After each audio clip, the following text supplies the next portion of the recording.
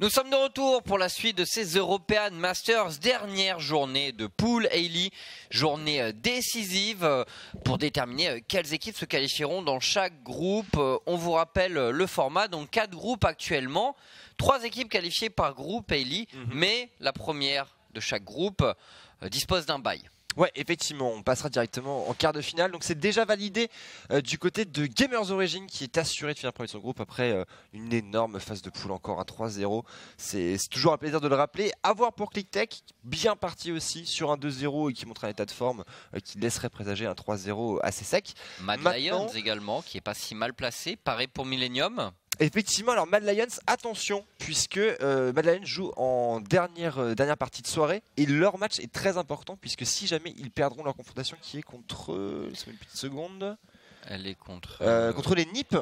Contre les NIP, on aurait une triangulaire entre SPG, Ninja in Pyjamas et euh, les euh, fameux Movie Stars que vous venez de voir jouer. Donc pas mal d'enjeux là-dessus, mais c'est pas le match qui nous intéresse. Euh, comme tu disais, Chips, les Team Penguins, anciennement Penguins Mafia, qui vont faire face à Haddock Gaming.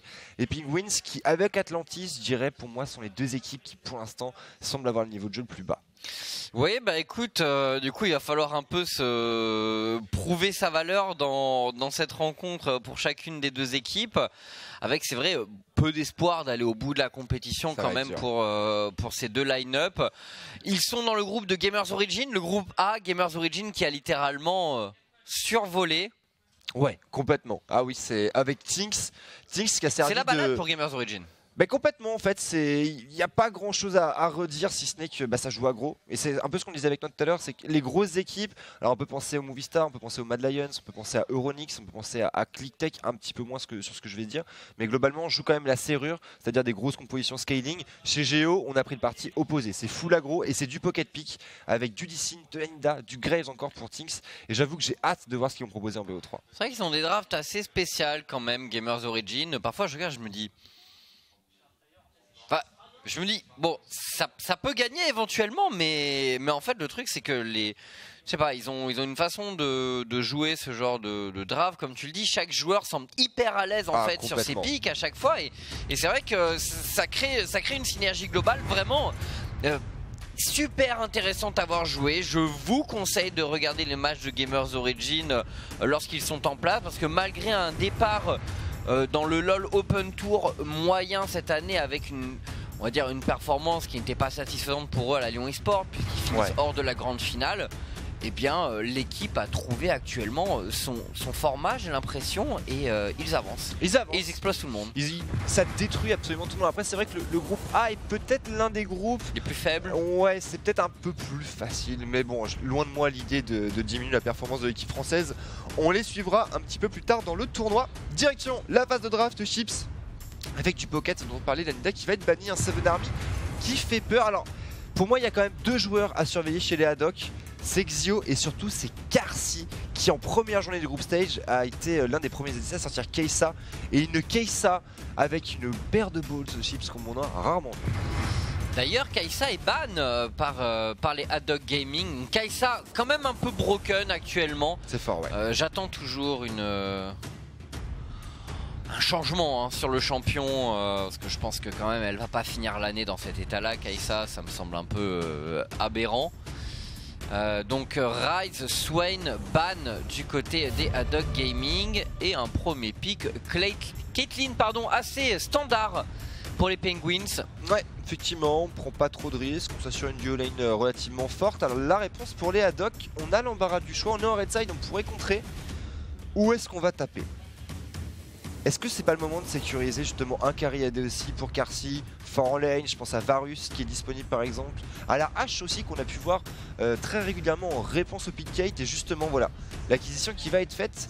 H qui a ce côté qui va être valorisé en pick tampon sur Caitlyn mais qui peut laisser présager des compositions pick-up qui dans ce tournoi de niveau sub-top européen, on sait que le, le playstyle est un peu plus libéré par rapport au LCS, mais ça pourrait faire la différence pour Haddock. Bah, H, c'est vrai qu'il y, a qu'il y a cette capacité, notamment via sa salve euh, d'outrange la Caitlyn. Du coup, tu restes un champion qui en lane euh, est, est- est vraiment gênant Ouais, clairement. pour, euh, pour une Caitlyn. euh, puis cette possibilité au niveau 6 d'engage, ça permet de briser la, la routine de POC et, euh, et de siège d'une Caitlyn, Complètement. la Complètement. traditionnelle. Même si, attention, on sait Caitlyn Morgana peut-être? Du côté des Penguins. C'est un peu la duo lane en vogue. Ça m'étonne qu'on n'ait pas deny cette morgue tôt pour Haddock. Alors maintenant, le Brome. Bah, Brome contre H, ça reste une réponse qui est. Rome euh, reste pas mal, mais bon, après le Black. Shield de Morgana contre H, c'est GG. Peut-être plus dur à placer, j'ai envie de dire. Je pense que c'est Il plus faut, facile de c'est contrer sûr qu'il faut le Brome. réflexe sur le coup, mais franchement, c'est.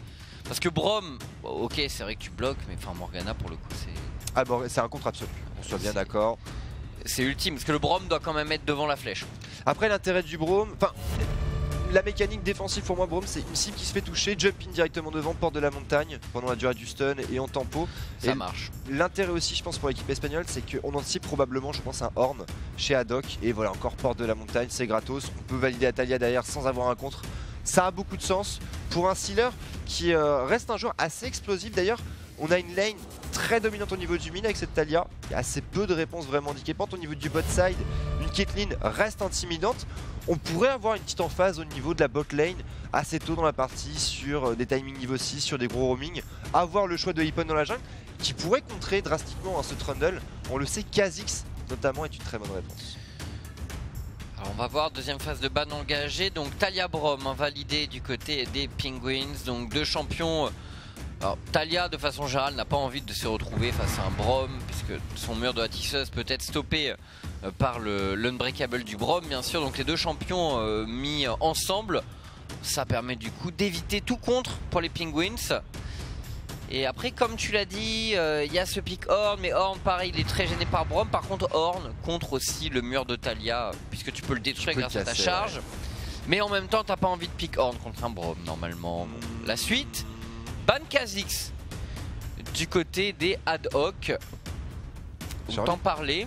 J'ai envie de voir Hippon sur un pic aggro. J'ai envie de le voir sur un. J'ai envie de voir des choses qui peuvent être très agressives. Et le Horn qui va être banni. Alors, justement, comme tu disais, un Prague Oh. qui a pas envie de partir sur Horn. La réponse chez les Penguins. Par contre, c'est sûr qu'il aurait été bien chez Penguins. hein.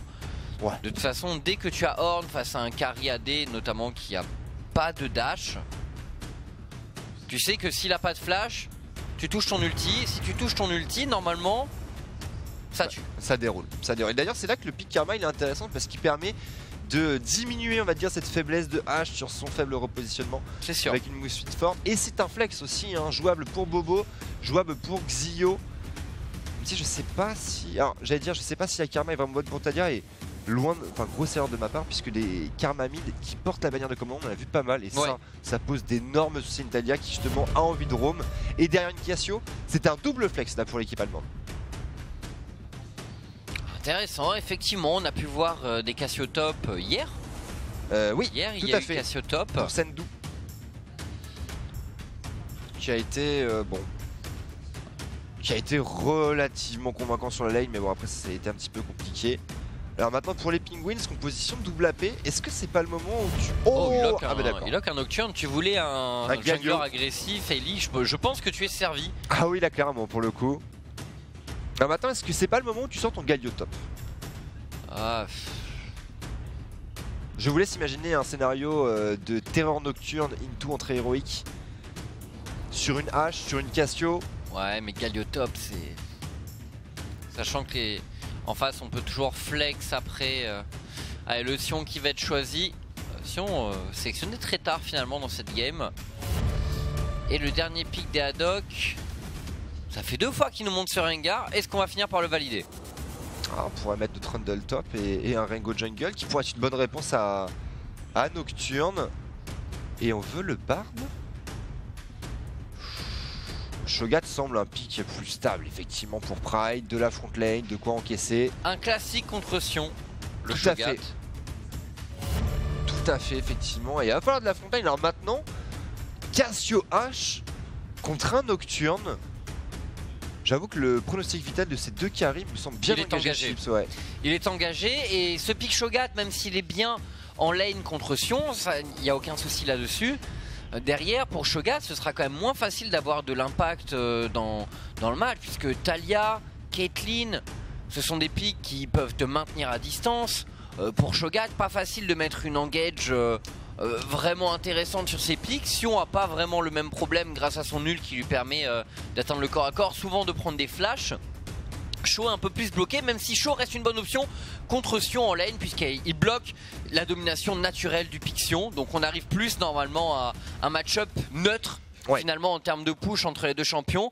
Mais c'est vrai qu'après Shogat, euh, pour la suite du match, je sais pas, contre Talia et Kathleen, euh, je, Ah, je trouve pas ça extraordinaire. hein. À moins de mettre une super rupture, effectivement, de toute façon, avec Shaw, dès que tu mets une rupture, les choses changent, mais t'es pas censé en mettre contre, contre une équipe qui a des, champions, des carries qui ont autant de, po- de potentiel pour te maintenir à distance. Il y a beaucoup de slow, c'est vrai. Alors maintenant, il y a quand même un intérêt pour moi, c'est le festin. Dans ces scénarios dans lesquels il y a des énormes frontières des deux côtés, il y a très souvent un moment où tu vas arriver en range de pouvoir Tu le peux caler aussi calmer le nocturne si jamais il all-in sur un de tes carries et que Tout tu es à fait. côté. C'est vrai. C'est vrai. Maintenant, C'est vrai, il y il a ce potentiel-là. C'est pas forcément facile, mais c'est vrai que derrière, avec une hache, avec une karma, on va avoir un Shogat qui pourrait courir très vite. Et il y a beaucoup de slow. Il y a Par contre, ce qui est bien avec Shogat, c'est que tu as un super follow-up. Donc, Ouais. imaginons le scénario où les Haddock Gaming, avec la hache, mettre une flèche. C'est sûr que là, normalement, tu as la place pour mettre une rupture. Et donc, en termes de follow-up, Shogat, c'est monstrueux parce que rupture plus silence, ça veut dire que l'adversaire, il ne bouge pas pendant 3 secondes. C'est énorme. Et 3 secondes, c'est énorme. Euh, maintenant, il faut que Adobe Gaming ait la priorité sur l'engage. Ouais, Si l'initiation est pas de leur côté, ce Shogat va, va un peu galérer. Bah, tout va dépendre de l'état du nocturne en fait, hein, j'ai envie de dire, parce que bah en fait on va jouer, il y a du pick-up des deux côtés, il y a des gros teamfights, mais voilà, nocturne avec la terreur qui peut arriver en fait n'importe où, n'importe quand. Il y a la hache de l'autre côté qui peut répondre un petit peu du tac au tac, et je pense que euh, du côté Penguins, bah il y a vraiment cette dépendance au knock qui si t'as pas en fait de palier de stuff qui va te permettre, alors peut-être pas de one shot non plus, n'ex- n'exagérons pas, mais de mettre une bonne claque à 70% de barre de points de vie sur la hache et sur la Cassio, ce serait étonnant de les voir vraiment être très proactifs et du coup ça pourrait laisser l'espace à Haddock de pouvoir engager. Tu parlais du follow-up, je viens de, de capter qu'en plus on a une Cassio derrière, donc c'est silence, enfin rupture, silence, les miasmes, donc ça veut dire que n'importe quel joueur qui se fait engager, il peut se faire complètement Si découper. tu, prends une, si tu prends une flèche, tu es mort. Le problème, Même c'est que... un. Même si on peut prendre, oui, bah effectivement, de toute façon, à partir du moment où tu peux pas bouger pendant 5 secondes, euh, ça, ça devient difficile de, de survivre dans tous les cas. Mais euh, oui, concrètement, cette hache peut être euh, la rampe de lancement parfaite pour les ad hoc, mais encore faut-il, encore faut-il survivre, j'ai envie Ouais, de dire, face, ça. à- face au gang potentiel d'un nocturne, face à un Brom aussi qui peut follow-up. Et le pire, c'est que si tu survis au gang du nocturne, derrière, tu peux toujours avoir l'ulti Caitlyn qui arrive et qui peut te finir. Donc la mission est pas simple pour H. Surtout le support, c'est Euh, bah, Karma, du coup. C'est une karma, c'est ouais. une karma, donc on a quand même un shield. C'est On a quand même un shield, mais c'est pas non plus le, Lulu niveau 6 par exemple en termes de c'est soutien là vraiment que survivre. ce- Ah, je, suis- d'accord avec toi. Moi, ça que le pic nocturne, je trouve, est vraiment très intelligent parce que bah aujourd'hui, on Ça peut, ça peut super bien fonctionner. Ça peut tuer les ad hoc complètement. D'autant plus qu'aujourd'hui, on le sait, à part Morgana, on plébiscite quand même en général les supports tanky. Et là, bah, il y a eu ce, flex karma au niveau de la draft qui a quand même une énorme valeur. On sait qu'en général, le fait d'avoir un champion qui peut passer d'un rôle à l'autre, ça a une énorme valeur stratégique. Et maintenant, ça se fait punir parce que bah, voilà, le knock qui arrive au niveau du bot side, que ce soit sur la hache ou sur la karma, tu as énormément de dégâts à proposer, sachant que c'est une Caitlyn Bro moi, qui est en face. Donc ça veut dire que bah, c'est pareil, on peut trouver du lock assez facilement avec un croc de givre, avec des trappes. Enfin bref, il y a un énorme panel de contrôle. Donc la confrontation dans la jungle va être très importante. Ouais. Et pour ça, on sait que la jungle est assez rythmée par la mid lane. C'est là que je trouve que la réponse côté Haddock est intelligente chez Xio, qui a un niveau mécanique qui, je trouve, est au-dessus de la moyenne dans ce tournoi, qui est sur une Cassio, qui est peut-être l'un des rares personnages qui, dans un scénario sur un joueur, Tu peux un peu gêner, ouais. Tu, peux un peu embêter gêner Talia. Tu peux gêner Talia, bah, même si vrai les deux champions ont quand même un, un clear solide. Ouais. Euh, donc euh, ça va être la bataille du clear de toute façon, puisqu'on a pu voir les ad qui ont répondu vraiment euh, pour la lane, je dirais beaucoup, même si ça peut avoir de la valeur dans leur combinaison. C'est voilà le, le pick Shogat, il a été pris parce que ça reste un des champions qui tient le mieux et qui neutralise le mieux le wave clear d'un Sion. tout à fait. Mid pareil, Cassio contre Talia, on peut imaginer des scénarios où la Cassio euh, sont, euh, joue d'égal à égal face à la Talia. Pour moi, c'est la Talia qui a la priorité naturellement. Maintenant, sur un outplay, en fait, il suffit d'arriver à trouver une bombe nocive et derrière une belle itération de Crow Ouais, si, et de la tendance inverse. si ça enchaîne bien. Et d'ailleurs, cette Talia, oh, alors, on a quand même un, un fait assez intéressant. euh, selon moi, puisqu'elle est partie quand même avec le chapitre perdu, alors que Euh. d'habitude, Grimoire déchaîné. euh, pardon, Grimoire déchaîné. Chapitre perdu, je confonds toujours un peu avec, euh, avec l'item, mais Grimoire déchaîné. Alors que d'habitude, tu as tendance quand même à jouer Aerie.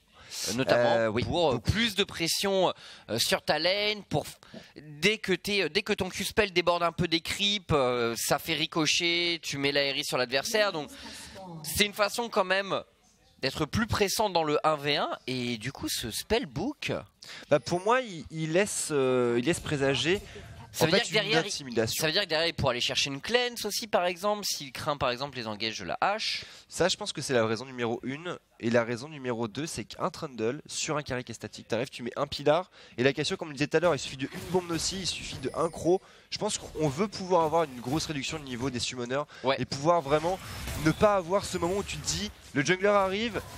Est-ce que je flash Ça m'embête, c'est quand même un CD de 5 minutes. Voilà, on va burn du summoner pour Sealer et à raison, il faut surtout pas laisser Xio arriver à prendre un ascendant. On a besoin que cette Talia justement ouvre de l'espace pour que le Nocturne puisse s'exprimer. et on est lancé dans ces phases de lane avec un pool de la part de Java et de Caracal alors que le Trundle de Seven Army est parti en solo hein. donc déjà euh, avantage sur cette early laning pour Bobo et pour Karzi qui ont vraiment une duo lane très forte en termes de clear on n'est pas passé par euh, finalement le- la puissance de clear de cette duo lane parce qu'on a comparé euh, top et mid mais c'est vrai que avantage pour le H Karma qui est un des combos les plus les plus pressurisants en termes de wave clear Ouais, en termes de que ça a vraiment beaucoup, beaucoup. Ça prend la vision, en plus ça joue haut sur la lane. Ça devrait être euh, une source d'oxygène au niveau de ce bot side. Et normalement, c'est là où AAG peut vraiment prendre un, un- un vrai ascendant, je dirais, euh, dans son match-up de lane. Ce serait plutôt sur ce, sur ce bot. En tout cas, en termes de push, bien sûr. Ouais, clairement. Au niveau du top side, bon, comme tu l'as dit, ça devrait s'équilibrer. Le Sion qui a légèrement l'avantage en early game. Mais voilà, à force de spammer, on va avoir un différentiel de mana qui va se créer avec le passif de, de ce Shogat. Et pour l'instant, la Cassio, elle est devant au niveau de la mid lane. On voit qu'elle a. Elle, elle pousse la wave avant et ça permet à Seven Army de lancer cette invade. Au niveau de ce bot side, bah oui, on s'appuie sur la domination de V2, on sait que la Cassio peut décaler et ça fait du bien. En fait, t'as envie, quand tu joues Trundle contre un jungle à domination en général, d'arriver en fait à slalomer entre euh, les timings Oh, de gang de l'adversaire et euh, la présence du Nocturne, bien entendu. Nocturne d'ailleurs, comme tu Top, précises, hein. Chips, en top side, attention, on est un peu avancé pour Ah, Pride. il est sur cette ward. Ah oui, il est en plein dessus. Oh, et Pride pas, qui joue justement. Comment dire Il joue un peu l'idiot là, si je peux me permettre. Complètement. Voilà, c'est euh, ah tiens, j'hésite un peu, je reste là, Oh, mais en oh, fait oh, je gère parfaitement. Oh, les Zio. sont bons et, et la poussée tellurique qui est loupée pour Sealer, un moment de punition idéal pour Xio.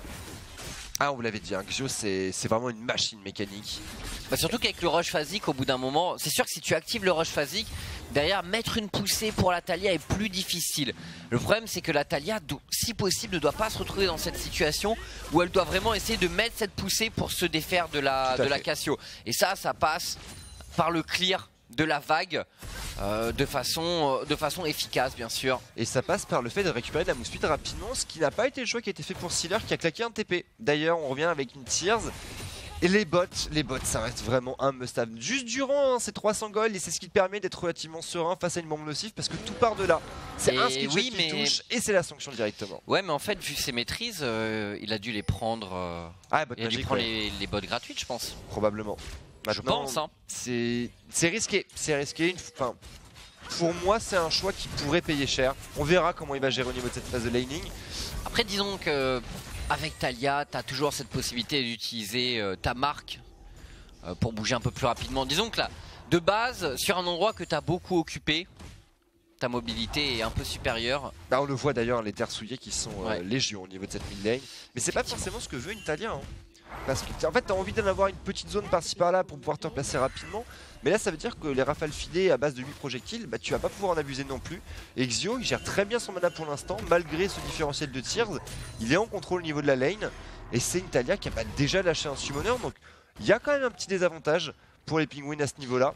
Maintenant, Sealer peut se rendre disponible. C'est un timing de back pour Xio. On va pouvoir reprendre le contrôle de cette vision. Et c'est important. Il faut absolument mettre le Trundle dans le noir en fait pour pouvoir donner au Nocturne cette opportunité de pouvoir agresser. C'est un Nocturne qui est niveau 5 et qui a un Red Smite d'ailleurs. On va pas tarder à arriver au premier pic de puissance de champion. Ouais, c'est vrai que ce serait intéressant, c'est vrai. euh, au niveau 6, euh, voir un peu l'état des lanes et euh, les endroits propices aux gangs de Hippon bien sûr.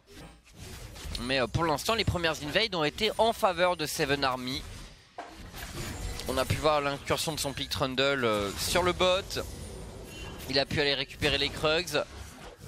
Et je pense la deuxième salve devrait effectivement venir de la part de ce Nocturne. Mais c'est le moment où Seven Army et ses laners devront essayer aussi de d'aller chercher la vision dans la jungle des pingouins.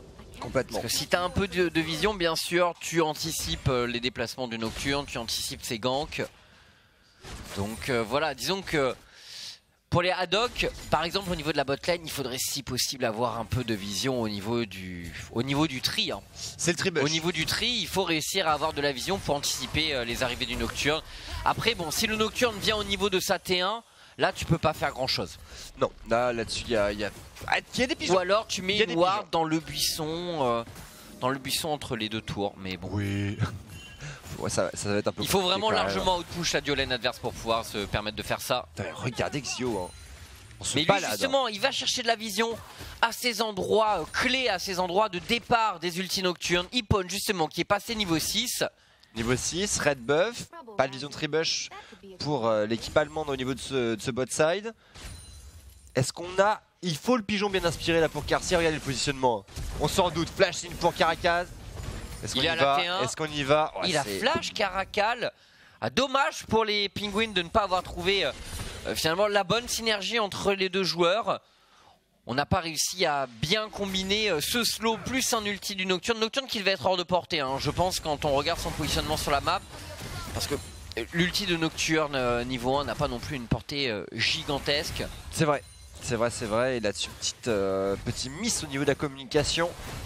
Et c'est quand même assez dommageable parce que... Oula, attention, pendant que Sealer se fait un peu agresser. Attention, Hippon est juste derrière. Hippon, on veut bait. Le burst, le flash in, flash out. C'est bien fait pour Hippon. Et first blood pour le jungler espagnol. Quel place là-dessus, un flash in en anticipation avec le Red Smite? Très bien joué trop de burst. C'est très très bien joué de la part de Hippon qui s'immisce dans un duel entre Sealer et Xio mais on savait qu'à un moment de toute façon ce Nocturne allait rentrer dans la danse donc un premier ulti de sa part et euh, bien sûr on attend la suite pour lui les Haddock sont prévenus ne pas perdre de summoner et faire attention même si là il y a une fenêtre pendant laquelle il n'y aura pas d'ulti Nocturne mais ça revient ça revient il a déjà passé euh, un quart de son cooldown. Ouais, ça vient vite, hein. effectivement. Il y a le Kofil qui est en poche.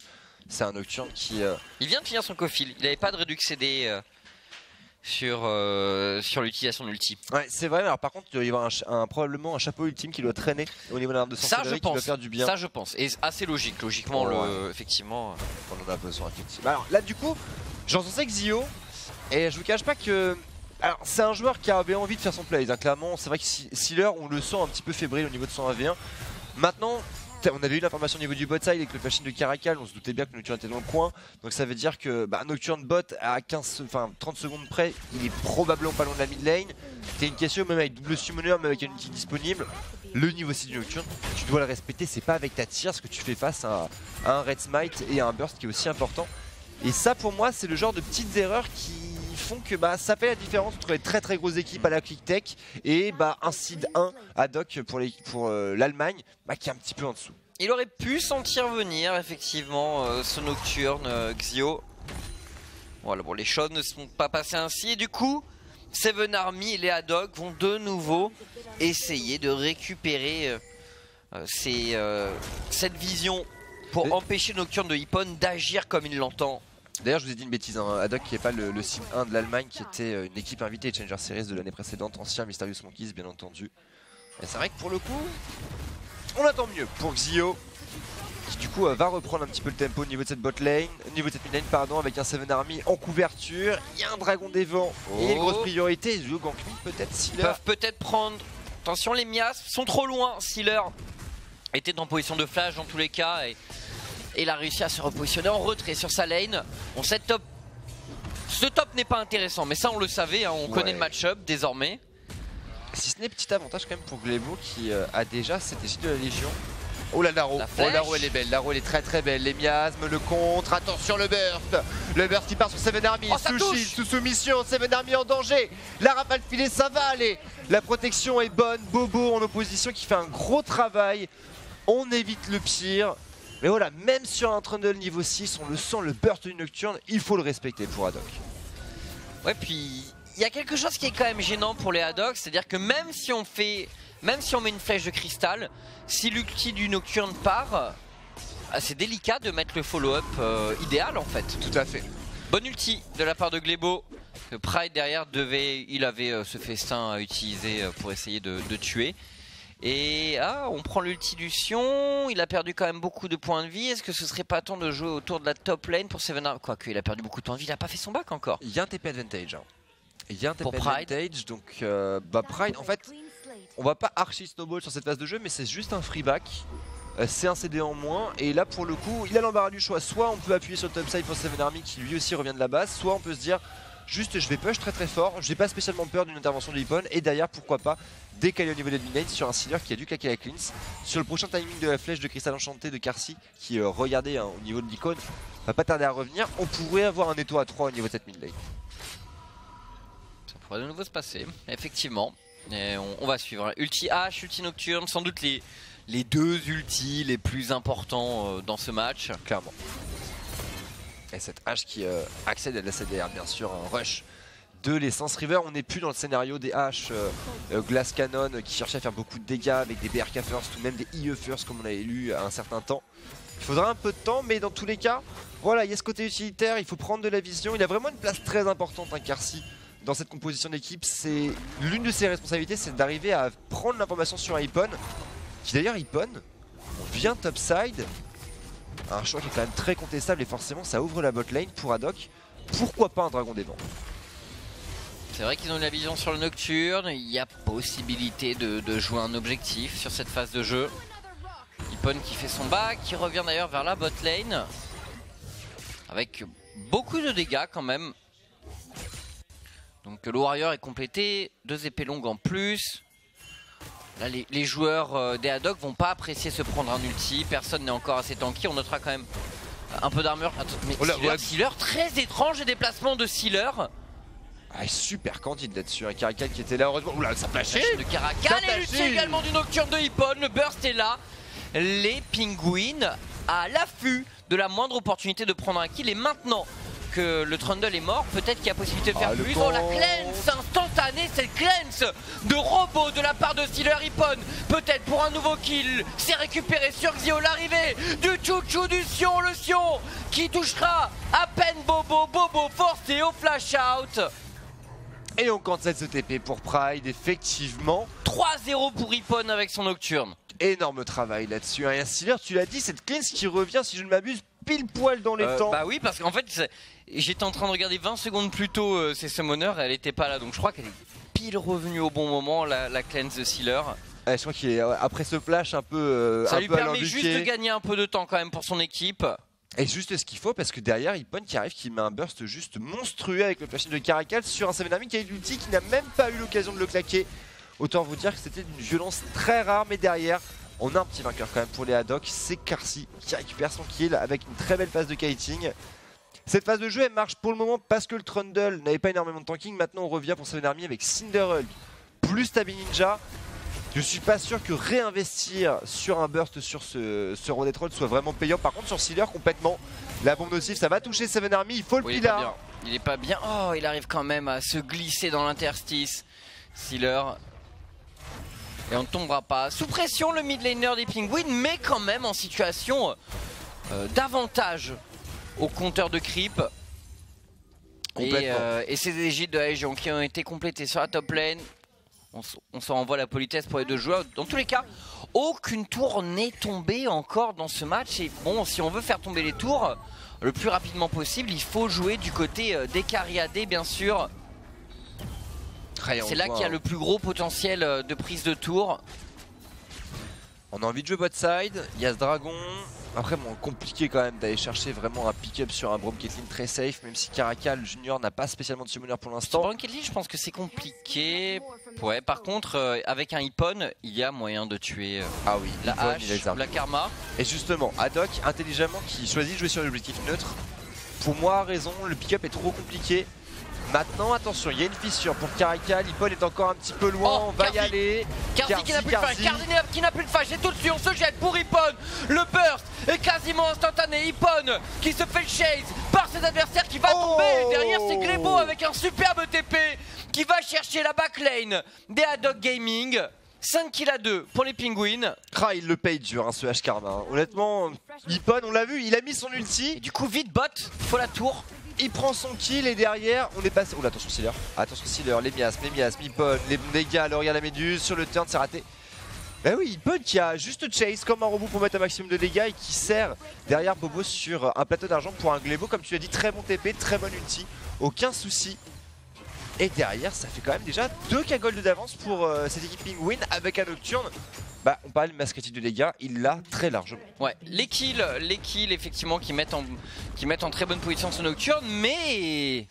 Eh oui, la tour est récupérée. Il y a Bayard commandement depuis quelques minutes sur les deux top laners et le TP de Glebo.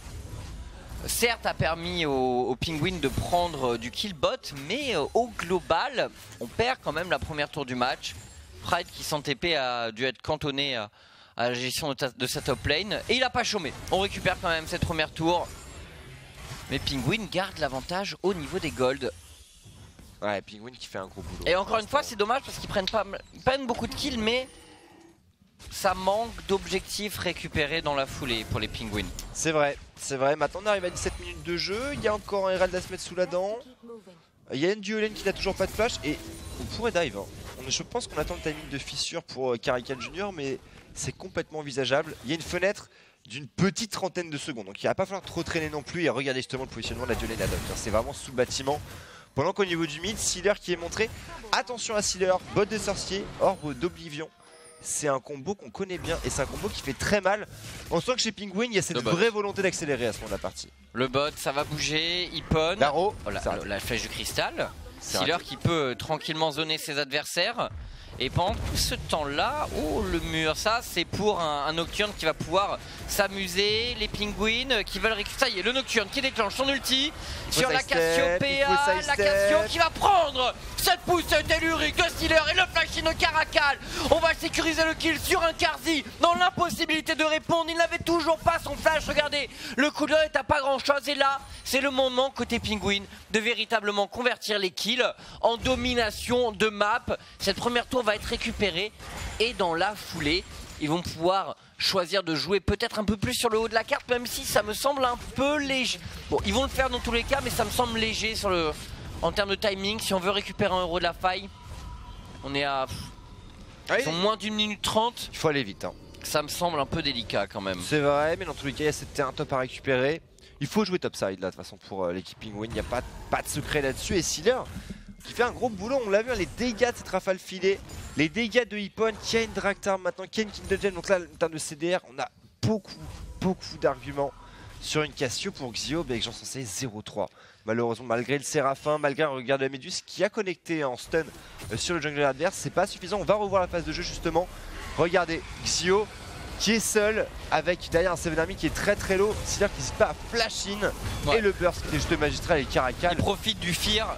Et derrière, c'est la poussée euh, gratuite. Et oui, bah, malheureusement pour la Cassiopeia de Xio, il a, il a peut-être joué. Il a peut-être fight à des moments où il fallait pas. Oui. Mais en même temps, c'est quand même un des intérêts de son pick. C'est-à-dire que s'il a le proc euh, de Move Speed, il peut normalement esquiver une bonne partie des dégâts de la Talia. Et du coup, tu as envie d'essayer d'abuser de ça. Ah, complètement. Et le problème, c'est que derrière, on a eu un Hippon qui a toujours répondu présent au bon moment, qui a puni les tentatives de, de vrais gros duels de Xio. Et maintenant, pour cette Cassio, bah, on est 36 derrière. C'est ça. Voilà, donc c'est un peu, c'est un peu dommage quand même. On perd, euh, on- il, il a perdu son match-up hein, concrètement, euh, pas en purement un v 1 mais tant pis, euh, tant pis. Il a pris, il a pas choisi les bons moments d'agression. Derrière, il les a payés. Et, et on a des pingouins qui ont, qui ont parfaitement su répondre. Ils ont attendu ces opportunités et cette ulti nocturne permet. Et ça veut accélérer, ça veut accélérer. Attention, un Sealer quand même très avancé. Le burst Ouh La Draktar, pas de Nippon en danger. Et la peur de la montagne parfaitement positionnée. L'Ignite et le Red Smite ne seront pas suffisants. Yokai, Pride, superbe C'est le rupture. Sionbot, le Sionbot parce qu'on a 5 joueurs d'Adog Gaming top, c'est bien. Le Les TP. pingouins semblent en difficulté, mais ils reculent, ils kite. Et pendant ce temps, c'est le Sion au niveau de la botlane qui va pouvoir récupérer une T2. Peut-être. Ah, il n'a pas de, de sbire bannière. Il aurait pu utiliser sa bannière. Sur la prochaine vague, peut-être. Il aurait pu utiliser la bannière. On Ça va de faire gratter. léger euh, enfin maintenant. Ouais, là, ça va dès le début. Ça va être compliqué. Bon, dans tous les cas, il a quand même bien progressé sur cette T2. Attention à ça quand même hein, pour les Penguins, c'est pas la première fois qu'on voit des phases de jeu où il y a les, les trois quarts en fait des éléments pour que la setup soit bonne, mais il y a un petit détail qui fait que ça ne suffit pas. Glebo par exemple n'avait pas son TP à une dizaine de secondes près, et là on part en dive quand même, on part sous une T1 avec un iPhone qui a investi flash. Au niveau du bot side, on a pu le voir tout à l'heure avec Caracal qui a claqué un flash in très tôt. C'est ce genre de petits détails qui Avec pourraient faire la différence plus loin dans la partie. Enfin plus loin dans la partie, plus loin dans le tournoi, pardon. Et heureusement pour Haddock, on arrive à tenir. Là maintenant le Nocturne reste efficace mais on arrive dans le monde de la, de la gaming où il va petit à petit perdre son ascendant naturel en termes de dégâts. Ce qui veut dire que pour Haddock il faut pas lâcher le morceau. Par contre attention, ce Dragon des montagnes justement il pourrait permettre d'accélérer vers une transition Nashor qui euh, serait salvatrice hein, vis-à-vis de cette, euh, chute de DPS que a proposé Nocturne. Ouais, dans tous les cas, c'est sûr que les Penguins vont essayer. Ce qui est intéressant, c'est qu'ils ont beaucoup de moyens de jouer un Baron Nashor euh, avec un wall de Talia qui peut punir des Haddock, des joueurs Haddock qui se seraient trop avancés. Pensons à la hache notamment qui n'a plus de flash. La hache là, tout est dangereux pour elle. Si elle est au mauvais endroit, elle se fait one shot par un Nocturne. Euh, Si elle est au mauvais endroit, elle peut se faire récupérer par un ulti de Talia. Euh, elle peut se faire récupérer par un ultition Ouais ça fait beaucoup. quand hein. t'es H, mais c'est ce qu'on on le savait de toute façon que c'était le danger du pic. Et on avait également dit que si jamais les Haddock avaient l'initiative, par contre c'est vrai que ça pouvait être intéressant, ces ulti H combinés avec les gros follow-up dont disposent les Haddock. Ah, et puis la guerre de la jungle a été largement gagnée Et par le héros quand hein. même utilisé par les Haddock sur cette mid lane, Ouais, sur un très bon timing, les pingouins n'étant pas du tout en situation de répondre. le TP, si si si chips. Il y a la réponse et la réponse elle va être très énervée. La réponse s'appelle Glebo. La charge, un premier joueur, un premier kill. Bobo est tombé.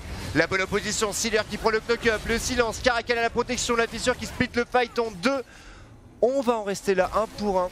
Et Ipon sans flash. Voilà, le Nocturne qui commence à être un peu fragile. Bon fight hein, pour des Haddock qui font face à une setup qui aurait pu faire très mal. Heureusement qu'il n'y a pas encore énormément de dégâts sur la de Java et heureusement que voilà, Ipon s'est fait wipe très tôt. Alors j'ai hâte de voir le replay, savoir à quelle vitesse et surtout comment est-ce qu'il est tombé. Il est allé tuer Bobo et après, après il était au cœur de la mêlée. Mais euh, pour le coup, je sais pas si, si la Carva était le meilleur choix de focus. Lui qui doit normalement supprimer un carry très rapidement et la, la hache, notamment hache sans flash. Normalement ça meurt, mais peut-être qu'il avait pas la vision sur elle au moment de cliquer sur l'ulti. Ouais, c'est Il faudrait revoir. euh, Il y a eu un petit micmac au niveau de la setup quand même parce que le mur de la tisseuse bloque en fait Glebo qui est obligé de flash, flash. par-dessus. Et ça c'est quand même gênant. T'es dans la même équipe, voilà, ça, ça corrobore ce que j'expliquais tout à l'heure, à savoir où voilà, il y a ce petit degré de précision qui fait la différence pour moi comme euh, bah, entre des équipes de très très haut de tableau et des équipes qui se débrouillent bien Ah. comme les Penguins. Ah, et avantage du push bot pour les Penguins, c'est le moment de délocaliser euh, vers le Nashor pour Glebo. Il a un ulti euh, disponible maintenant, le top laner des Penguins, mais il leur manque encore de la tour. Ces Penguins, afin de vraiment jouer Oh, le le baron dans les bonnes conditions, peut-être que ce pic pourrait leur permettre de libérer la T1 au niveau de la top lane. Très bonne ulti de Xio, mais Ipon avait très bien initié pour son équipe et maintenant il faut finir le boulot pour les Penguins, récupérer cette T1 top, Caracal, Oh. Kisto, le flash out de Seven Army, On s'est fait peur là. juste sur, juste sur un frostbite du Brom, ça fait mal quand même de perdre son flash. Ça fait peur, ouais, effectivement. Ah, Exio qui fait les frais de son. En fait, il n'y a rien à faire là-dessus. Pourtant, il avait bien géré. Hein. Voilà, on a essayé de temporiser au maximum le spell shield. On a, trouvé le regard de la méduse. Mais voilà, trop de dégâts. Et derrière, la Kétine de Java qui est très pertinente en termes de, de mécanique. C'est pas la première fois qu'on le voit arriver à trouver un coup létal en max range. Et derrière, c'est une Kétine qui a 3 items. C'est une Kétine qui met 60 CS à cette hache qui était pourtant là en réponse. Pour PGM, on a les conditions de victoire adéquates. Maintenant, il faut arriver à transformer l'essai sur le Nashor. Et c'est vrai qu'avec la domination qu'ils ont présentée au niveau du top side, on peut avancer la vision et regarder la rivière top justement, qui est très bien contrôlée par l'équipe espagnole. Le tout, c'est d'arriver à trouver la percée au niveau du red buff adverse, arriver à faire sauter ce triangle de ward de contrôle qui, euh, pour l'instant, en fait, est, un peu la dernière muraille des Haddock. Et la. La terre mid. Haddock doit s'y accrocher absolument. Sinon, euh, sinon c'est vrai que ils seront. Euh, ce sera euh, la foire aux ulti Talia, aux ulti nocturnes, aux ultitions. Et ils n'ont pas envie de ça, les Haddock. 107 mid. Vu l'état général des deux équipes au niveau des gold, Haddock sombrerait sûrement en perdant, en perdant cette tour. Ouais, probablement. la conserver la flèche de cristal. Elle est pas mal cette arrow, c'est raté malheureusement. Attention avec Zio, toujours pas de summoner Zio qui se fait un stand burst là-dessus et Pride qui se fait ramener, qui trouvera la rupture pour faire flasher Hippon. C'était bien fait. Mais attention le mid, attention le mid parce que tout ça déplace les Haddock au niveau de la top lane. Et suivre cette, cette flèche de cristal c'est bien mais si on perd toute présence au niveau de la mid lane derrière il n'y a aucun bénéfice. La T1 est récupérée on le disait. C'est tout ce qui manquait au Penguin maintenant qu'on a ouvert la T1 mid Baron Nashor euh, facile et surtout ulti les ultis qui vont sortir à répétition de la part des Penguins et qui vont être extrêmement oh difficiles à encaisser pour les Haddock. Ouais, complètement, on cherche la charge encore, la tête de ça va passer. Mais ça avance tellement bien, mais c'est une quête de hein. Le stop push bot, comme tu disais, il y a une manière de commandement, il me semble. Est-ce qu'elle est toujours là? Parce que c'est vrai que le, Shogat avait TP. Ah ouais, ça fait un moment qu'elle était là. Hein. ouais, il, avait peut-être clear quand même, je sais pas, on n'avait plus la vision bot. Dans en tous tout les cas, cas, cette T2 bot, elle est quasiment tombée aussi. La, tendance, elle se maintient. Hein. C'est des, des pingouins qui avancent vraiment sur la carte sans aucune concession. Pour AG, c'est de plus en plus dur d'arriver à maintenir cette vision. Heureusement qu'il y a cette hache, hein, les rapaces qui vont vraiment faire la diff euh, sur la, transition sur le Nashor. Maintenant, mais il va falloir s'armer. Est-ce que c'est pas le moment justement d'aller récupérer des stopwatch un peu en pagaille pour Xio et pour Karsi parce que là, il suffit d'un fight bien négocié et peut-être qu'il est là ce fight pour Haddock. Un pic peut-être intéressant, attention Oh, la position est bonne. Loupé. Attention, attention, ce couloir, oh, ce couloir, ce couloir et le Sion qui passe par derrière. Une ouverture également pour Ippon dans la backline, le flash out de la part de Karzi. Ippon va tomber. Heureusement, il y avait ce flash pour cette hache. Oh là là, le flash de Steeler. On n'arrive pas à trouver la poussée, mais de gros dégâts Java qui s'avance. Oh, il y a des headshots oh, des équipes. Le, le oh, Java se monte. C'est l'arrivée de. On drift, on surf sur l'adversaire. Le Ace in Zone ne sera pas suffisant, mais quel prise de responsabilité pour les deux carrés espagnols. On perce et on vise une T3 Chips, j'ai l'impression. C'est bien joué de la part des Penguins, même si Haddock résiste pas trop mal finalement. Le kill sur Ippon euh, fait du bien, il empêche les Penguins d'aller chercher un Baron Nashor suite à ce teamfight. Donc on, limite la casse côté Haddock, mais on sent bien, on sent bien qu'on est quand même sur le point de rupture et cette hache n'aura pas un, flash à chaque ulti Il faut des stopwatch pour Xio, il faut des stopwatch pour Karsi. Là, on cherche une lame d'infini, mais. Alors, oui, bien sûr qu'on a envie de faire des dégâts, mais comment tu DPS si t'es mort en fait? Et on le voit, Ippon, hein, avec son Black Cleaver, il met énormément de dégâts. Et derrière, en plus, il shred l'armure pour une Caitlyn qui DPS, mais tellement bien. Regardez cette setup de fight, on sent pas le complètement hein, pour Haddock. Le Shogat de Pride qui reflash dans le trap, heureusement, voilà qu'il y a il manque ce petit supplément de dégâts. C'est la pire situation euh, normalement pour Haddock puisque alors après Ippon s'est jeté peut-être qu'il aurait pu attendre un peu mais c'est ce dont on parlait le Shogat qui ne bénéficie pas vraiment d'une première engage qui du coup sert un peu d'engage primaire et dans ce genre de cas t'es très inefficace surtout si t'es attiré dans un petit couloir comme ça, impossible de progresser et encore une fois ce Shogat doit surtout être un, utilisé suite à un ulti de H. Mais s'il doit courir jusqu'au carry seul, ah, le problème, ça va être très difficile. Le problème c'est que l'ulti H euh, cleanse, cleanse euh, au niveau du support. Derrière tu tapes dans un Sion. Et le problème c'est que, autant je vous disais tout à l'heure, il y a assez de dégâts, il y a assez de contrôle pour le tuer ce Sion. Mais le problème c'est qu'en fait il y a un tel backfire possible chez les Penguins que si tu setup ton fight comme ça, derrière tu vas te faire éclater. C'est une Cassio qui fait 1-6 pour le moment, euh, qui est plus de 70 griffes de retard pour Xio, c'est juste dramatique. Au niveau des ADC, regardez, c'est pareil, on est sur un 80 bien tassé. Pour AG, il bah. faut arriver avant toute chose à survivre. Du coup, peut-être que. Parce que ce piquage, il a été pris tôt, donc disons que les Penguins ont eu le temps de construire une draft qui, c'est vrai, sur certains points, ça porte bien les cleanses au niveau de la Talia par exemple. Euh, pareil, le Brom qui peut porter, enfin qui a de quoi protéger face au follow-up, qui peut porter un grimoire, de, un grimoire déchaîné. Mais euh, peut-être qu'il aurait pas peut-être qu'ils auraient pas dû piquer cette hache aussitôt. hein. Peut-être qu'ils auraient dû la Bah. garder un peu en surprise. Parce que bon, normalement, tu penses pas à hache comme carry, AD. Enfin, c'est un peu un pic de dernier recours normalement ou un pic un, un peu spécifique. Ouais, mais euh, c'est pas celui que tu sors d'emblée. Je sais pas, honnêtement je sais pas trop parce que c'est. Je pense au, au playoff NA pendant qu'on. Oula attention, Xio, Xio. Voilà, la stopwatch, ça fait une belle différence de place, on se place. Xio qui vit Enfin Les ados qui tiennent bon, mais qui ils perd son flash. Attention, Seven Army. Oh, l'intervention de Glebo, mais. Mais- Glebo, mais Glebo Glebo, il- Glebo, Glebo, le il monstre. sort d'endroits, mais qui sont totalement inattendus, Ailey. Et la poussée tellurique. Pride ramené pour une dernière accolade doublée en faveur de Java. Et là, Banachor. hmm, non, Ipon n'a plus de pain de vie. Ça me semble Ouais, délicat. c'est difficile. Bon, reset, reset, effectivement. Par contre, bot. Bot, ça- Bot, ça fait mal, hein. c'est la T3 qui est tombée, c'est l'imiteur qui est en danger. Oula, attention, c'est pas fini, Java. Java qui s'est fait avoir là-dessus. Non, Ah, c'est bien joué. ça c'est du, du grid quand même de la part de Java. Même si les Haddock répondent bien, il peut pas se permettre, alors que toute son équipe a back, de tenter un 1v1 ou un v2. La ba- Cette bannière de commandement qui est MVP. Bah ouais. C'est Glebo, hein, il est sorti euh, depuis la bot lane, on l'a vu arriver euh, du mauvais côté entre guillemets du fight. Et euh, il était au travail au niveau du bot, Et le Konachor. l'inhibiteur récupéré. Par contre voilà, maintenant Ipon a repris des points de vie. Est-ce qu'on peut? Sans Caitlyn, C'est compliqué. le problème c'est que ouais. Talia elle a elle a trois, trois sessions de rafale possibles vraiment devant le Baron Nashor sans trop s'exposer. Voilà, il y a un moment où ouais, toutes les terres sont souillées. Et C'est le problème. Ça puis, devient difficile. euh. Est-ce que tu as envie que ta Caitlyn ne porte pas Nashor? Bon, j'en suis pas complètement convaincu. Je pense qu'ils ont besoin des gars de la quête dans tous les cas pour vraiment Ouais. assurer à 100% Ouais, on va prendre son temps là pour Penguins. De toute façon, encore une fois, maintenant Haddock est tellement dans le dur. Défendre ce baron, c'est quasiment mission impossible face à tous les ultis qui vont venir du côté des Penguins. Ouais, justement. Donc autant hein. ne pas prendre de risques inconsidérés côté Penguin et ne pas tenter un baron sans le carry AD. Honnêtement, ils n'ont pas besoin. Ils n'ont pas besoin de le forcer dans de mauvaises conditions. Parce que les bonnes conditions sont toujours là pour eux maintenant. Ouais, c'est ça, inhibiteur bot de tomber, on a le scaling, on a une Caitlyn à 4 items, avec en plus une QSS. Donc là, bon, je vous laisse euh, imaginer un pour Karsi. Bah, la seule cible qui peut snipe, en fait, la seule cible rentable, c'est Ipon, et encore, c'est sous couvert d'un spell shield. Et derrière, on va être obligé de mettre sur Glebo parce que bah, clean, Smith- clean support et QSS ADC, ça va être très compliqué.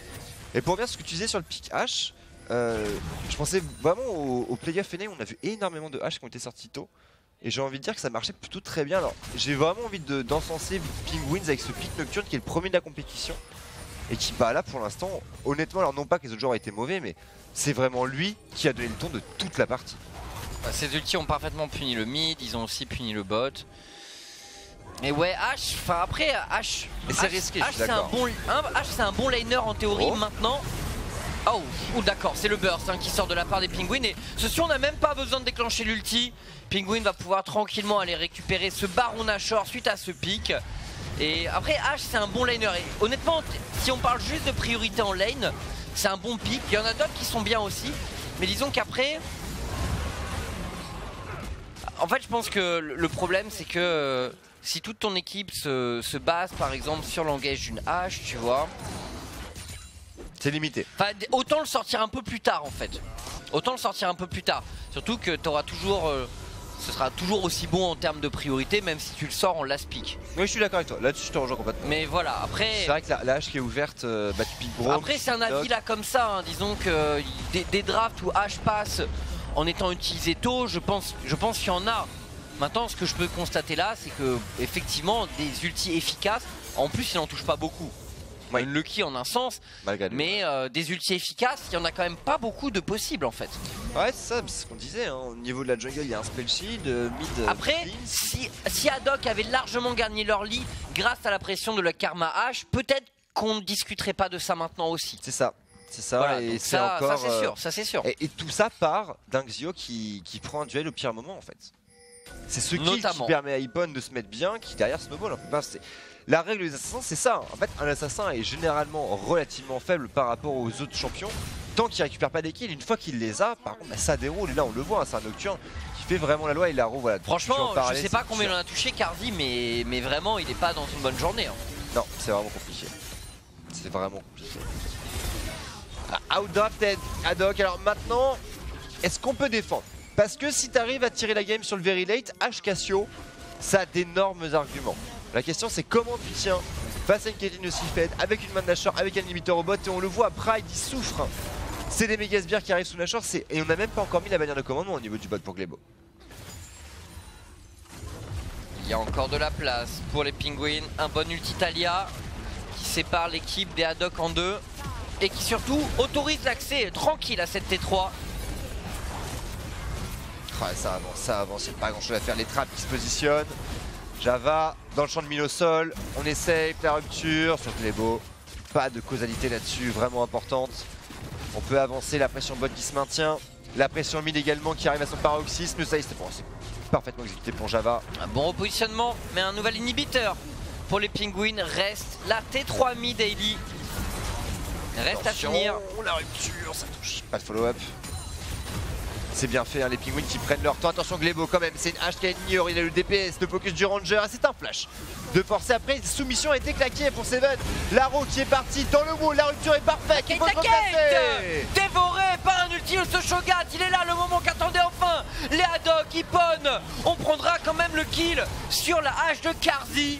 Et attention, tout de même, Pride qui pourrait répondre. Oh, très bonne poussée, très bonne poussée de Stealer. Et on maintient la pression malgré la perte de deux joueurs. On veut avancer, il n'y a plus laisser chez Haddock. Attention, l'arrivée de Glebo. Stealer qui bombarde, son pas le filet, encore la rupture qui est parfaite. Sio qui trouve un peu de dégâts mais qui ne veut pas s'avancer plus que ça. Il n'y a pas d'outil, il n'y a pas de summoner. Et regardez cette marée de, de qui rentre là.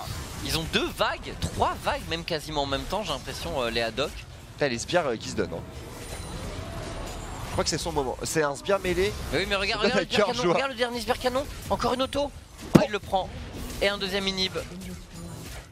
Celui de la mid lane n'étant pas loin de tomber en faveur des Penguins. Ouais, Java qui s'est fait avoir là, qui... Euh, son décès qui empêche cette prise du, troisième inhibiteur. C'est un Java qui, a flash. On s'en va un peu petit peu, peut-être, mais bon. Le mal, il est fait dans tous les cas. Hein. C'est du 12k gold d'avance pour, euh, pour les Penguins. Il y a un dragon des vents au cas où. Il y a les buffs à récupérer. On est armé, on a un Rabadon, on a un ange gardien pour Ipon aussi, ça va faire beaucoup de bien. Et ce cimetière mercurial Caitlyn qui du coup devrait être beaucoup plus safe. C'est dommage parce que chez Haddock on s'était enfin réveillé en teamfight. Hein. Je pense notamment à Pride qui a enchaîné trois ruptures d'affilée qui étaient parfaites. Laro était bonne aussi. On a réussi à, respirer un petit peu mais voilà c'est déjà un peu, tard, un peu trop tard malheureusement la main de Nashor qui rentre dans la base. C'est souvent rédhibitoire et maintenant c'est le push final probablement Chips. Qu'est-ce qu'on fait chez Haddock? Est-ce qu'on tente un baroud donné en dehors de la base ou est-ce qu'on attend patiemment la mort? J'ai l'impression que c'est la deuxième option qui va être choisie. Ah, ils ont essayé de piquer la Cassio. Dommage Dans l'idée, ça pouvait donner quelque chose d'intéressant pour les Penguins. qui de toute façon ne sont pas archi dépendants non plus du mur de la Talia pour arriver à prendre ce dernier inhib. Hein. les Haddock vont être sous pression bot et top, donc pour les Penguins. Il suffit d'attendre son heure. Le problème étant quand même que les vagues sont un peu désynchronisées. Ah, on avance, on avance pour Java. Pop, pop, c'est midlife. Ipon il s'occupe du topside, la bot lane qui arrive bientôt à maturité. La poussée, ouf, Pride. On a failli se faire attraper cette cut P. prend son temps pour l'instant. Regardez, c'est une énorme vague au niveau de ce bot side. Hein. Celle-ci, quand elle va arriver, à faire très très mal. Pour Haddock, il faut engager sur le retour de Xio. Il faut pas perdre plus de temps que ça. Il faut la roue à 3 Kylo pour Karsi. Ils ont une flèche. Elle est là. Mais c'est difficile. Tous les joueurs des, des Penguins euh, peuvent, peuvent s'affranchir du contrôle. À part Glebo. Mais lui, il a beaucoup de points de vie. Oh, beaucoup de résistance. Oh, attention, Java Java L'erreur La rédemption est bonne et pour les Haddock, c'est peut-être le comeback, quoique Sealer. Ça va pas être simple, hein. même après ce kill, même après ce kill, ça ne va pas être simple. Ils perdent quand même tous les inhibs. Ouais. Donc là, disons qu'ils gagnent juste le droit de survivre jusqu'au retour de la, de la Caitlyn. Et peut-être le droit de défendre Nashor. Peut-être le droit de tenter un steal. Ça va être Et le droit de rêver hein. surtout, Chips. 3 inhibs de perdu, ça va être très difficile tout de même. Ouais, 3 inhibiteurs, c'est très rare les équipes qui arrivent à comeback là-dessus. Surtout que bah, il n'y a pas d'énorme wave cleaver à la Sivir, à la Azir. Même si une H a des arguments, d'autant que c'est une H. Euh... H Runan, c'est pas trop mal quand même. Ce que j'allais dire, 100% de crit avec un Runan, ça peut faire du bien, mais est-ce que ça va être suffisant? Parce que en fait, le problème, c'est que si tu restes dans ta base à wave clear, bah c'est Nashor en face en fait. Et même, même avec un Runan, je pense pas qu'une hache puisse tenir 3 méga sbires sous Buff Nashor. En tout cas, les Penguins qui vont pouvoir euh, lancer leur call de leur côté. Puisque que personne ne s'y oppose pour l'instant. On rappelle, hein, si vous venez d'arriver, que si cette game est perdue pour Adox, c'est la fin de leur aventure dans ce tournoi Chips. Tout à fait. il va falloir vraiment se battre jusqu'au bout. Et alors, quels, vont être les arguments? Est-ce qu'on va, on va laisser passer Snatcher, j'ai l'impression 3 secondes. Oh, il va se faire trichot. Hein. Il y a un dragon des, dragon des montagnes. Allez, Kathleen. Bon, bah, bah. Ah, il n'y aura pas de défense. On attend le glas sereinement chez Haddock. Oui, il n'y avait pas grand chose à faire là de toute façon. Hein. Sous la pression de 3 inhibs, euh, c'est les cas où tu peux venir contester un objectif au milieu de la carte sont quasiment inexistants. Et les pingouins vont pouvoir progresser. Ils ont un inhibiteur à récupérer sur la top lane. Mais voilà, maintenant avec ce baron, ils doivent quand même finir le match maintenant, les, les Penguins, euh, sous peine d'être dans une situation où on sait jamais. Une erreur pourrait commencer à coûter très cher. Ah, effectivement. Hein. Effectivement. Mais il faut finir maintenant. C'est vrai que. C'est bien parti pour. Regardez ces méga bien. Noré aux hormones là. Pride, oh, Pride qui prend de gros dégâts. La rupture ça passe pas. Ipon qui va pouvoir aller tapoter ce Pas forcément convaincu par ce mur de Atalia. Euh, moi non plus. Oh là, attention Java encore, le burst de Java, qui se Java, Java, Java qui a pu se repositionner. Cette fois-ci le burst des Haddock ne fonctionne pas. Ça manque de patience quoi que Java. il a pris un sale critique. On le sent passer hein, laqué de stuff. Écoute, ça hold. Ça hold, on se précipite, on s'empale dans les ruptures de Pride. En même temps, Penguin, ils avaient un mur de Talia, ils avaient un inhibiteur à jouer top et ils ont décidé de mettre un mur de Talia au niveau des tours de Nexus et, et de prendre un fight devant les tours de Nexus. Il n'y a pas trop de raison. Ah, pour moi, la, raison, c'est qu'on se précipite en fait. La raison, ce n'est pas une bonne raison, Chips. C'est pas une bonne raison. C'est clairement pas une bonne raison, soit bien d'accord. C'est que bah, ça fait. Euh, autant Java était incroyable en mid-game, je trouve, au niveau de ses fights, au niveau de ses flash Et là, ça fait deux fois. Hein. Il se fait à chaque fois chaque fois, il prend un petit truc. Et un petit truc en, à 40 minutes de jeu, c'est souvent la moitié de tes points de vie pour un ADC. Ouais, et un ADC qui prend mid-life, c'est souvent euh, bah, ton équipe qui doit reculer. Ça peut être teamfight perdu, ouais. Et pourtant, il vient d'atteindre le palier 20 000 gold, Java. Donc il est quand même... Bon, il a plus besoin de gold de toute façon, même s'il vend ses bots là, pour un danseur fantôme. Mais voilà, c'est la forme finale de cette Caitlyn. Je commence à croire au scénario de comeback pour les Haddock, la Chips. Les émetteurs sont revenus mid et bot. Je sais pas ce qu'ils font, hein, les, euh, top, et, top et mid. Le Nashor, il arrive bientôt à la fin. La hache, en fait, les carreaux gold, il va être négligeable. Maintenant, on a 43 minutes de jeu. Alors oui, il y a peut-être un stop de plus pour la Kate, mais on l'a vu, la hache, si elle sait qu'elle positionné, elle arrache des têtes aussi. Hein. Pour la Cassio, c'est pareil, Cassio, very late game, c'est un champion qui est très très énervé. Rien que déjà le combo Rabadon Séraphin, Il n'y a que Vegar qui peut avoir plus d'AP euh, qu'une Cassio ouais. en late. C'est ça. Donc là, c'est c'est pas fini C'est pas fini tant que c'est pas fini, Chips, attention Il va falloir vraiment transformer l'essai sur ce push. Où est-ce qu'on est de la main de Nashor Et regardez, justement pendant cette pause, regardez l'icône sur le Nocturne de Hippon. La main de Nashor, elle est vraiment sur la toute toute fin. On sort la pause. Oui, c'est fini, mais cette, euh, ce teamfight qui n'avait pas vraiment d'intérêt euh, devant les tours de Nexus euh, se paye. Et maintenant, disons que s'ils prennent pas un gros ascendant, s'ils détruisent pas les deux inhibs là, sachant que celui du mid va revenir dans la foulée, donc ils auront pas, ils auront sans doute pas de buff baron pour aller chercher l'inhibiteur mid. En fait, du coup, tout est désynchronisé pour les, euh, pour les pingouins et euh, les, leurs quelques loupés les amènent à plus de 40 minutes de jeu. Et dans ce genre de cas, même si tu as un gros ascendant sur la carte, même si tu as une grosse domination, tu n'es jamais à l'abri d'un faux pas. et un faux pas à 40 minutes de jeu peut tout te coûter. Donc c'est là où c'est un peu, c'est un peu dommage quand même qu'ils aient fait euh, des mauvais choix par moment. Peut-être qu'ils qu'il n'ait pas su euh, parfaitement euh, se mettre en place pour les prises inhibiteurs. voilà, peut-être que la quête était trop exposée, pas assez en retrait, ou alors peut-être que les frontliners n'étaient pas assez devant. Voilà, on, on, peut prendre le problème dans un sens ou dans l'autre de toute façon. Mais en tout cas, elle est morte ou elle a été menacée trop de fois, et ce teamfight mid Enfin, devant les Nexus, c'est un nom quand il reste un inhibiteur à prendre top. C'est pas pour rien que les, les Penguins ont, eu autant de mal dans ce tournoi pour l'instant. C'est que, en fait, Et je trouve que ça c'est l'apanage de, quelques équipes qu'on peut retrouver en, cette scène subtop. Alors de manière caricaturale, je peux penser à Atlantis par exemple. C'est des joueurs qui mécaniquement vont être très bons et ils l'ont prouvé. hein. Je fais référence notamment à ce fight mid où on a des filets in, des flash in qui étaient vraiment très intelligents. Mais il n'y a pas encore cette gestion stratégique, c'est cette précision au niveau de la setup euh, qui euh, bah, en fait fait tout simplement la différence entre une très grosse équipe et une équipe en devenir. Et pour l'instant, Penguin, eh bien ils ont leur preuve à faire.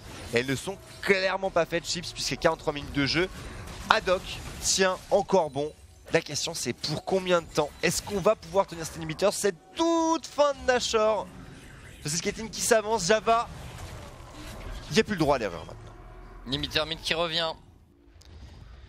Tous les inhibiteurs sont là pour les Haddock. Et gagner un teamfight maintenant, ce serait une bénédiction pour l'équipe allemande. Complètement. Complètement. À 44 minutes de jeu, vu le temps de repop, euh, c'est une base qui se fait arracher. Alors ça, c'est un très bon mur de la tisseuse pour le coup. Attention à Pride, le knock-up, Java, les headshots, la rupture side step, Pride qui prend très cher. Seven Army qui va Attention. Seven Army, on tient bon pour l'instant la rédemption, Seven Army qui tient, mais Pride qui tombe, le Jack qui va lâcher, regardez Regardez Carcy qui doit flash out, Java, Java qui trouve la percée Le doublé, les critiques qui tombent de la part de Caria des, des Penguins. Et ça y est, le mur de la tisseuse a été mis en place. Si le même avait été utilisé top tout à l'heure, les Penguins n'auraient eu aucune difficulté, je pense. Enfin voilà, c'est. Pas, à certains moments, les Penguins n'ont pas fait euh, les bons choix Oh Java, avec tous les outils qui étaient à leur disposition, ce qui a poussé un peu le match euh, beaucoup plus tard. Et après, bon, les Haddock ont réussi à, mettre, à trouver quelques fights intéressants. Haddock, mais Haddock, est-ce qu'on peut tenir Est-ce qu'on peut tenir? Seven qui veut rentrer, on veut tenter, regardez Xio qui met d'énormes dégâts, Glebo qui fini. pourrait tomber Glebo est down, derrière il nous reste Xio encore, avec Bobo, est-ce qu'on peut le faire? Xio, oh Xio le regard de la contre Le Xio. triple cul Ailey, c'est le kill qui est récupéré. Et finalement, Caracal est en difficulté. Bobo Bobo qui va peut-être pouvoir défendre en solitaire. C'est une base à feu et à sang. Oh mon mais c'est une base. Elle est toujours là, la base. Et Haddock qui ne veulent pas quitter ce tournoi Non de tout, Xio qui chauffe ce triplé. Ce triplé qui... Il, sort, fait il oublier sort un peu des enfers Ouais. pour Xio. Il efface son early game. Il efface ces, ces 30 minutes de souffrance qu'ont subi les Haddock. Il donne une deuxième chance. Enfin, je dis une deuxième chance, c'est. C'est même une troisième chance si on compte les, les deux suicides de Java. Et pour le coup, on respire, on a l'orbe d'oblivion, on a la hache qui est full stuff. Et pour la première fois depuis une bonne quinzaine de minutes de jeu, Haddock sort enfin de sa base Chips. On va pouvoir récupérer un, red buff, on va pouvoir respirer un petit peu plus. Il n'y a pas de GA sur Ipon. Est-ce qu'on a des flashs? Le flash de Xio va revenir. Carcy va être vulnérable par contre, il faudra le protéger, mais on l'a vu, le Nocturne, il a plus les dégâts. C'est trop tard. Le truc, c'est que les inhibiteurs sont tombés, il reste 1 minute 20, c'est une Après, minute le 20 pendant Nocturne, le là, il a. Ouais. Ça dépend qui il ult quand même, Ipon. Parce que je pense quand même qu'il peut toujours one-shot la hache. Avec la BT, je suis pas sûr. Parce que c'est une hache avec une karma derrière, faut pas l'oublier ça. C'est vrai. Et c'est une hache qui porte des Tabi Ninja si je me trompe pas. Tabi Ninja qui sur. On le rappelle, hein, on est sur 8.6, hein, donc les. Bon, on revoit le place de Xio. Les Tabi Ninja ne sont pas encore nerfés. Et donc euh, très fortes encore sur les ADC. Ouais, je, je pense que vraiment le combo BT, Danseur Fantôme, Tabi Ninja, plus la Karma, ça fait qu'en solo il peut pas. Par contre, ça c'est très très bien pour Carcy. Le pilier. Deux ultis de force.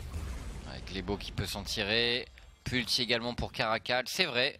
Ce sont des bonnes prises pour les Haddock, mais l'important c'est surtout de savoir comment les choses vont se passer pour ce baron. Et pour Haddock, encore une fois, 3 minutes de perdu. On sait pas trop comment ils vont pouvoir aller le contester. Normalement, ils ne pourront pas. Ça va être un petit peu. Il a fait Spellbinder sur cette alia. J'aime bien. Ah, j'aime beaucoup cet item aussi, ouais.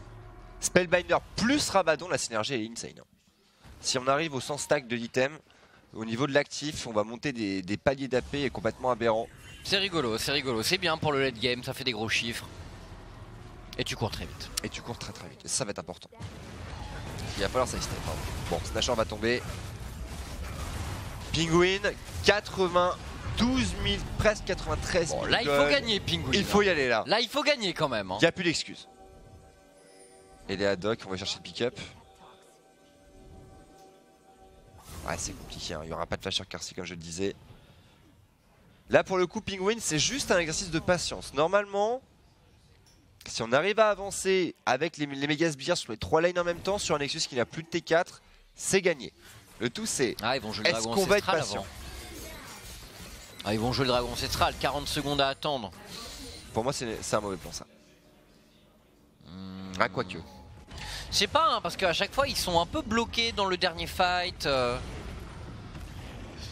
Euh, Donc ça peut, ça peut être utile, hein, ce dragon ancestral qui sort. euh. En fait j'avais peur pour, que... pour une Talia, pour une Kate, pour un Sion, pouvoir mettre, pouvoir mettre le POC avec 3 stacks.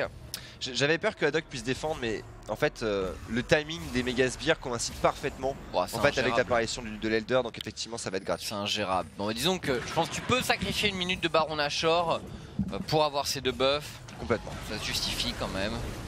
Ouais, puis là, ça va aller. C'est un dragon ancestral de, de 49 minutes de jeu sur 3 dragons. Là, si on gagne pas avec ça, Penguin, honnêtement, c'est. Ce serait vraiment désobligeant. Non, moi je, rends- je rends mon tablier s'il gagne pas là, Ah, honnêtement. je suis d'accord. Allez, Glébo. Bon, c'est On le moment les- d'ailleurs. Allez, Siler topside, on envoie Ipon au niveau du bot, on avance en concert. Le tout c'est d'arriver à bien tout synergiser. Normalement, avec une Caitlyn à 510 creep, Nashor, Elder, ça devrait y aller. Oh, il y a des inhibiteurs qui se font. euh, Ah, ils se font découper là. Ah oui, ça va vite. hein. On y va à la 6 2 hein, pour Ipon. Allez, on poke, on poke, les deux ennemis qui remontent, qui vont redescendre directement. On veut fight, c'est pas mal ça pour AG. Le flashing de Seven Army peut-être un petit peu un peu tueux. La rédemption un petit peu. Oh, ils sont bloqués, ils sont bloqués par un excellent. Zio Zio qui prend l'initiative et le beurre Chafa et pour ce temps-là, Ipon et Sealer vont aller finir le match. Victoire des Penguins qui utilisent euh, le all-in de leurs adversaires euh, pour finir Oh la rencontre. Et euh, troisième défaite en trois rencontres pour les Haddock, l'équipe allemande qui nous quitte suite à ce match, Heidi. C'est la fin. Bon, on s'est battu comme des lions jusqu'au bout, hein. notamment Xio. Xio qui reçoit la médaille du, du vétéran d'honneur, du baroud d'honneur à toute épreuve. Bon, pour Penguin, par contre, franchement. Ça a été long quand même pour finir un match dans lequel ils avaient un gros avantage. Ah, j'ai rarement vu une fin de game aussi laborieuse. hein. Je vais pas vous mentir là-dessus, ça a été, euh, ça a été long, ça a été compliqué. Et en fait, ça fait peur parce que, en fait, si tu as un carry AD qui euh, n'est pas capable d'arriver à conserver son sang-froid aussi longtemps dans une partie, comment tu fais quand tu avances dans ton Les erreurs de late game en tant qu'ADC coûtent vraiment très Ah, cher, hein, ça c'est sûr et certain. Et bon, après, euh, on va voir la suite bien sûr. Alors, ça fait euh, 3-1 pour Penguins. Non, 2-1. Pardon, 2-1 2-1. pour Penguins, ouais. Pardon, 2-1. Euh, bah, du coup, il passe. Oui, euh, coup, il qui, passe passe, euh, qui passe pour la suite euh, pour les playoffs de ces European Masters, donc les Penguins, avec euh, les Illuminar Gaming pour fermer la marche dans ce groupe A. C'est ça. Et Gamers Origin, premier à 3-0. C'est ça. Ce que je Cocorico. Et, euh. N'hésitez pas à venir regarder les matchs euh, des Gamers Origin parce que c'est vrai qu'on parle beaucoup d'origine. Euh, pour ces euh, pour ces European Masters, mais s'il y a une équipe qui est vraiment très impressionnante, je dirais que ce sont les Gamers Origin avec leur mid laner Tonnerre, euh, le français. Et euh, ils valent le coup d'être suivis. Ellie, je parlais d'origine, eh bien ça tombe bien. La prochaine rencontre les verra évoluer pour leur troisième match de cette phase de poule contre les ESG dans, dans ce groupe C du Ouais. coup.